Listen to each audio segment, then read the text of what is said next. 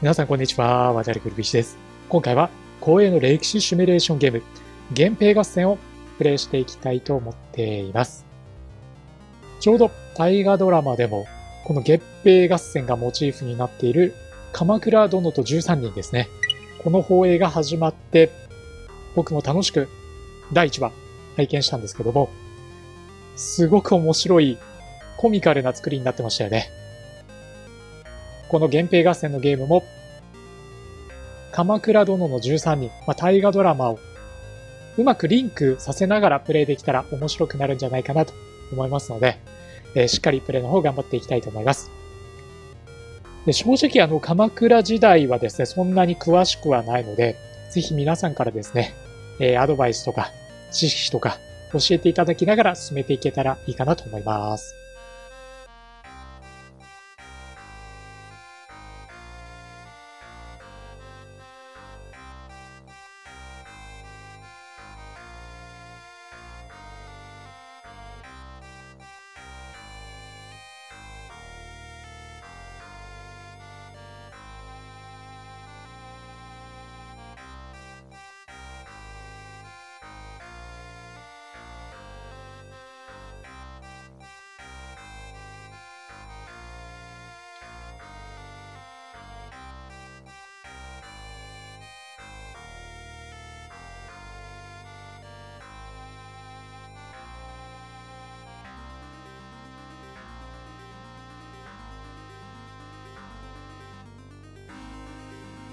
これ清盛ですね。今画面に映ってるのがね。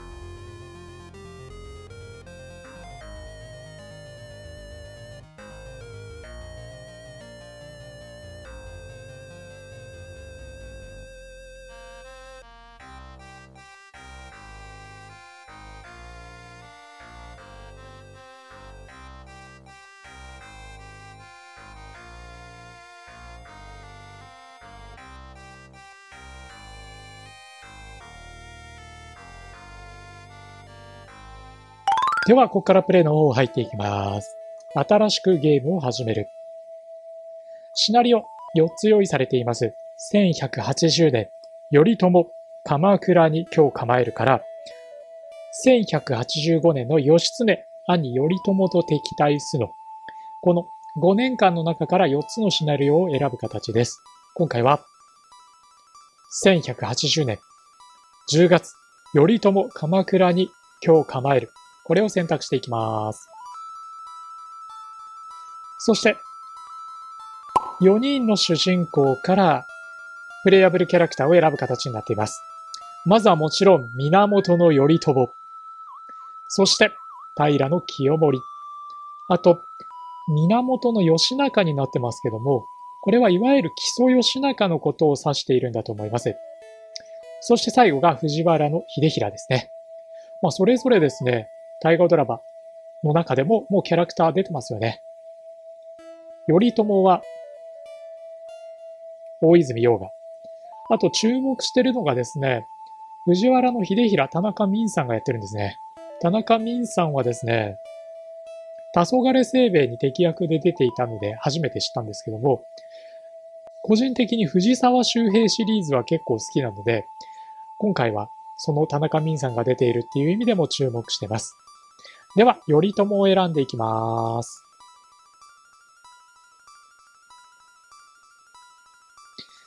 環境設定はこの後いつでも変更できますのでデフォルトで進めていきましょう。ゲーム開始です。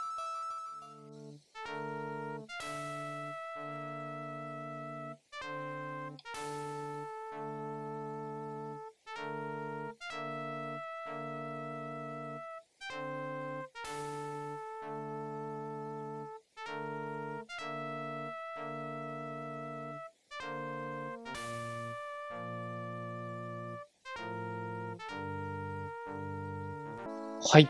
こちらがですね、ゲーム画面になります。システムは単性のストラテジーゲームになっていますので、え清盛だったり、頼朝だったり、あるいは木曽義仲、藤原の秀衡、順番にコマンドを打っていって、時間を進めていくというシステムになっています。早速、頼朝の番来てますので、えー、操作の方を始めていきましょう。まずは、渋谷重国が豊を求めてきてますね。まあ、武将は大いに越したことはないと思いますので、えー、豊をしていきましょう。まあ、せっかくなんでこの渋谷重国で武将のパラメータどんなものがあるか見ておくと、まず年齢がありますね。中性、動員力。このあたりは戦闘で生きていきそうですね。渋谷重国を召し抱えました。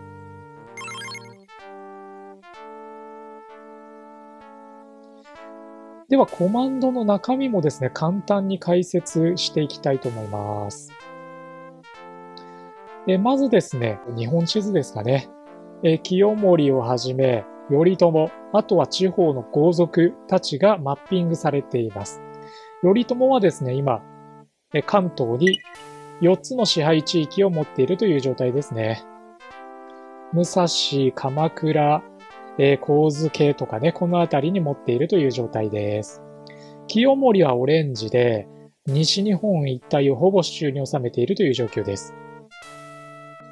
今、頼朝は鎌倉にいるんですけども、例えば武蔵にですね、命令を出すのであれば、武蔵に今入っている大官、宇佐美さんが入っているので、この宇佐美さんに対して命令を出していくという形になります。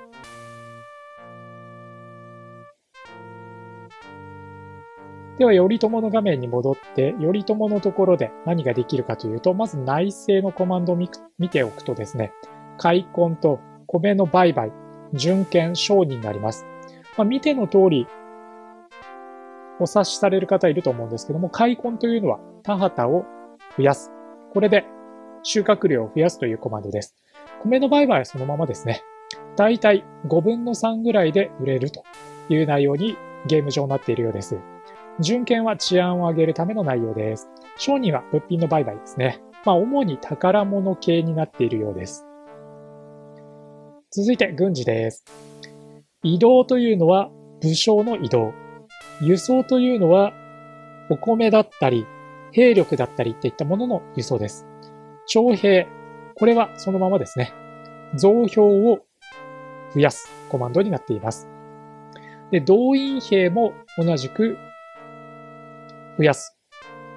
それと並行して、それぞれ増票と動員兵の訓練というコマンドもあります。編成というのは軍団の編成ができます。続いて人事ですね。豊は先ほど渋谷重国を登用したような内容になっていますね。で面白いのが、雅子っていうのがあるんですね、これ。雅子は、北条雅子のことですね。せっかくなので、ちょっと北条雅子に会いに行きましょう。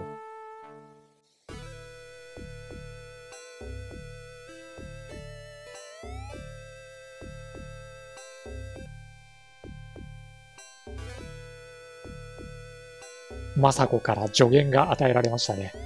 雅子は、この中では、源氏しか使えないコマンドになってます。続いて外交ですね。怪獣相乗要請です。怪獣というのは、まあ、いわゆる親善というような位置づけですかね。相乗というのは、朝廷に対して官位の働きかけを行うというコマンドです。そして計略、密偵、焼き打ち、先導、調略、兵脱と。えー、まあ、そのままのコマンドの内容になっています。で、面白いのがですね、ご覧いただくところで言うと、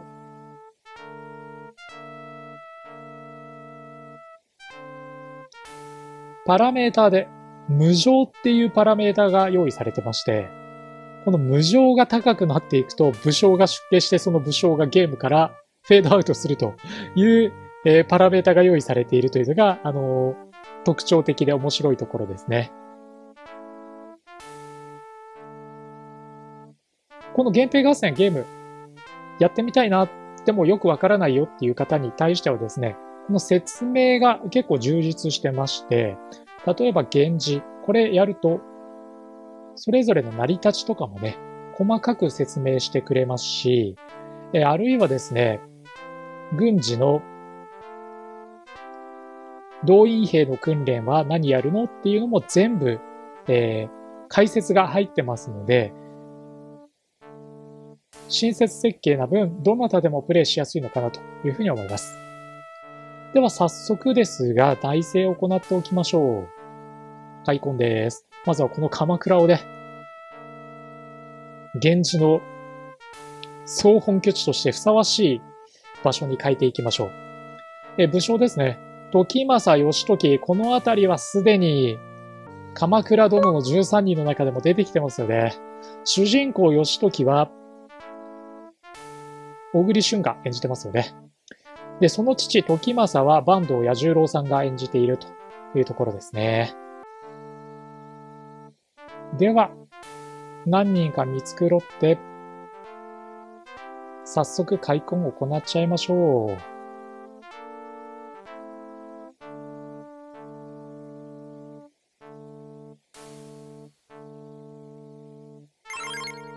農業地がパラメータアップしたというところですね。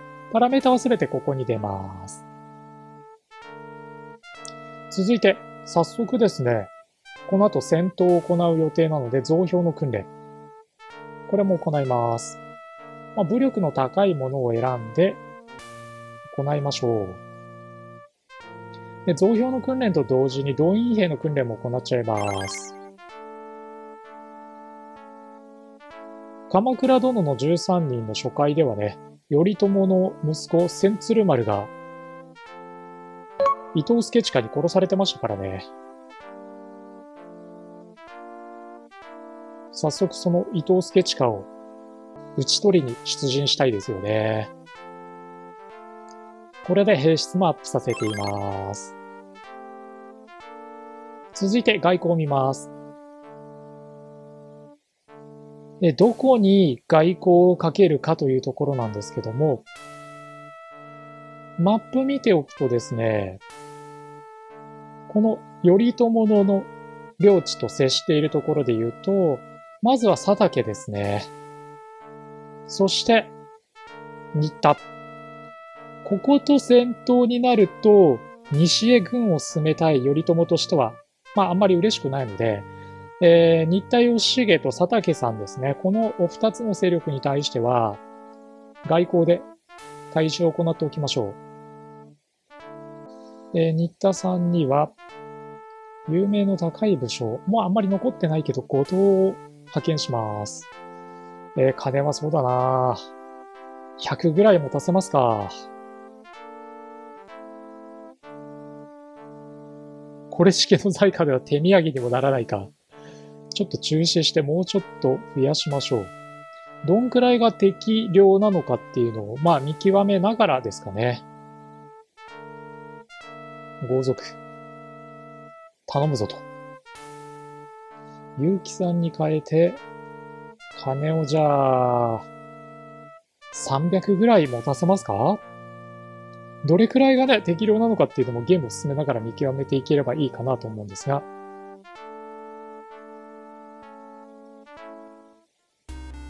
結城と、この新田さんの相性もありそうですけどね。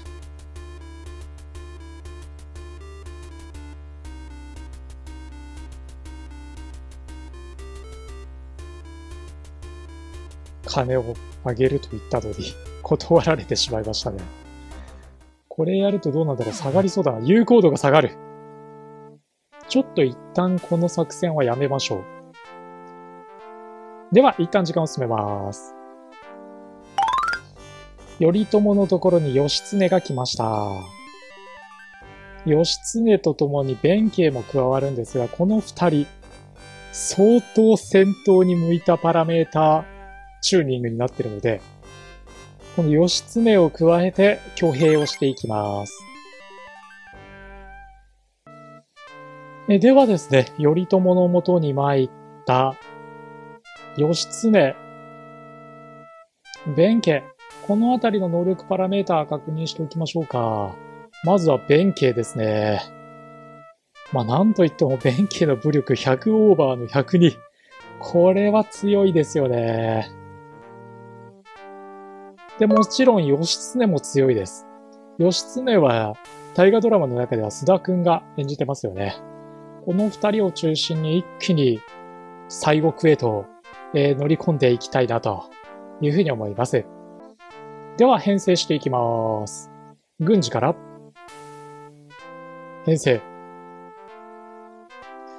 頼朝も出陣しましょう。弁慶、義経。あとは、まあ、せっかくなので、鎌倉殿の13人に、ちょっとでもね、その、関係のある武将を出陣させていきたいですよね。小栗くんの北条義時、出陣させましょう。それに時政を加えた5人で出陣していきましょうか。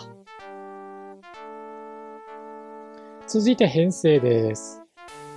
まあちょっとお金は多めに遠征軍なので持たせましょう。兵糧も同じく多めに持たせます。で、こっからは、兵力ですね。まあ、兵力重要ですからね。8000を率いて出陣しましょうか。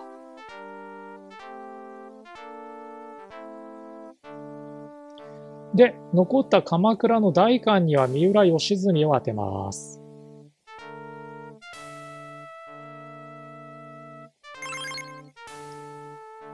内政もしっかり行っておきましょう。では、頼朝軍ですね。義経、弁慶、それに北条、義時、時政を従えて、千鶴丸を葬り去った憎き、伊藤助近討伐に向かいます。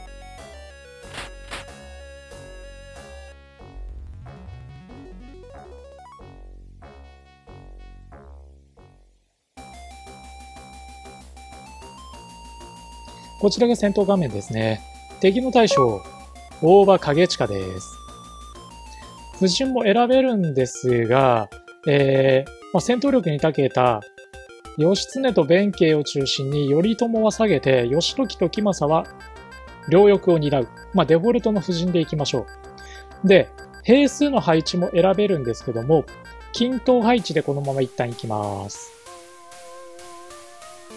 では敵の布陣見ていきましょう。敵は中心に部隊集めてますね。そして合戦前の行動ですが、いくつかあります。時の声を上げる。小一騎で先駆けをする神仏の加護を頼むあるんですが、まあ、一旦時の声を上げておきましょう。えいえいおーってやつですね、いわゆる。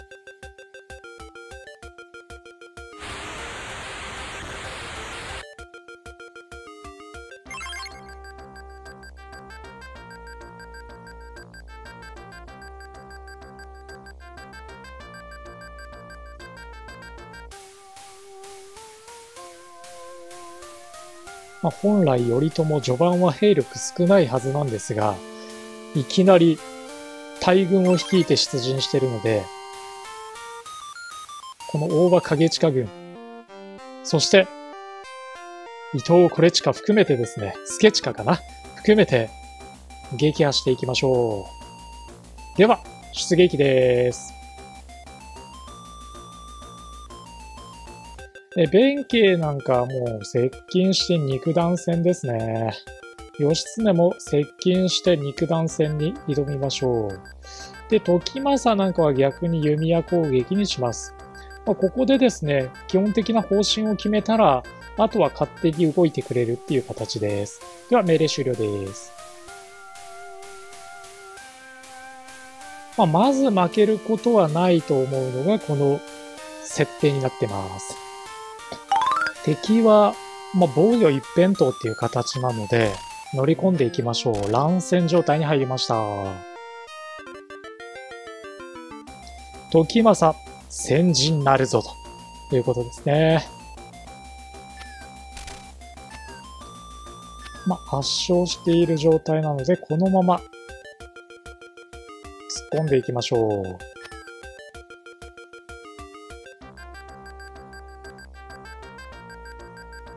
時政に一騎打ちか。これは一騎打ち受けるのやめましょう。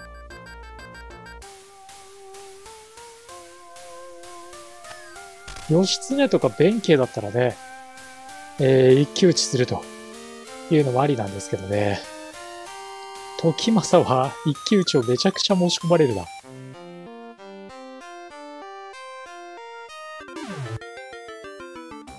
梶原の影時、撃破。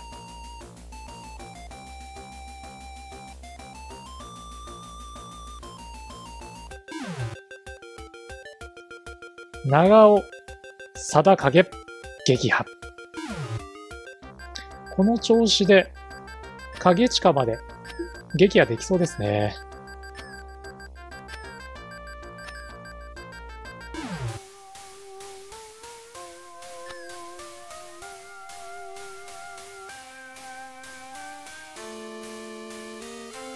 でちなみに時政能力パラメータで言うと、武力67、まあ、決して強くはないけど弱くもないっていう形ですね。逆に義時が有名が低すぎますね。これもうちょっと上げていく必要ありそうですね、今後ね。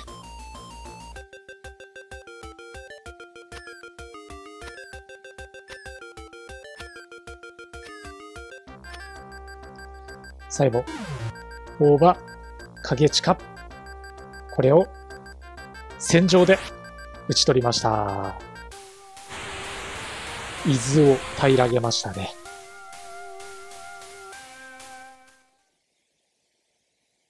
義時も無事勝利に貢献してくれています。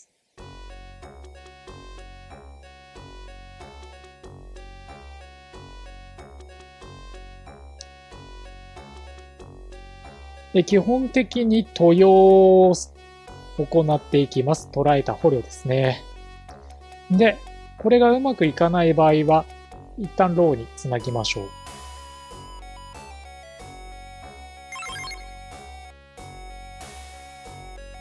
梶原の影時。この梶原の影時はですね、あの、パラメーターもご覧のようにかなり強い設定になっていて、鎌倉殿の13人の中では中村獅童が演じてますね。で和歌や音楽にも長けた、まあ文化人でもあったという設定になっているようです。これ登用しましょう。味方になってくれないのであれば、一旦はローにつないで、そのうちに怪獣して、この梶原の影時は味方に引き入れたいですね。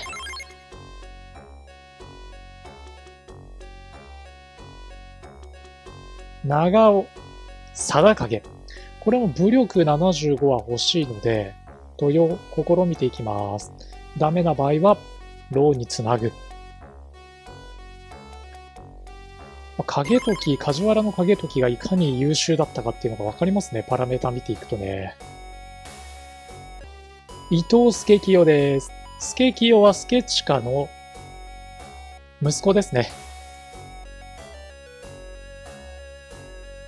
この助清も、かたくなに頼朝の配下に加わることを拒んできてますね。残念ながらスケチカは取り逃したようですね。まあ、いずれスケチカ捉えることもあるでしょ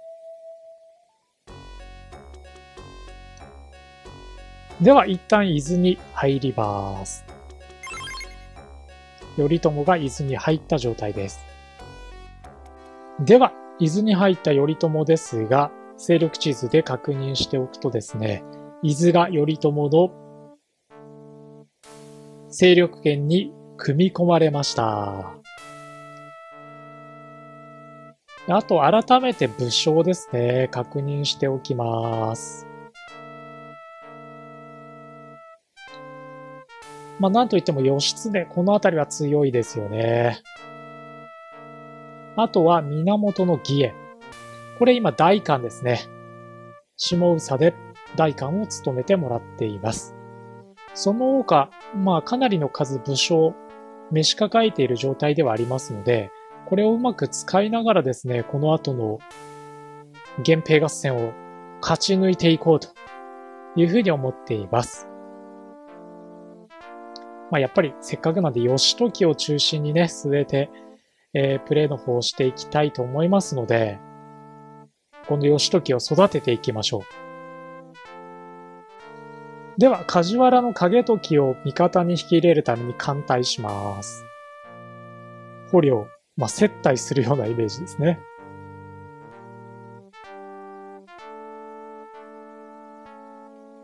これを繰り返していくうちに、この梶原の影時を配下に加えていくと。これを行っていきたいと思います。えー、では、初回はここまでにさせていただいて、次回ですね、やっぱり心配なのが、西へ兵を進めるにあたって、北の佐竹、新田、このあたりとどううまく付き合っていくかだと思うので、特にね、佐竹も、そして、この吉重も味方というわけではないので、注意を払いつつ、場合によってはお金を使って、親善を行って怪獣していきたいと思います。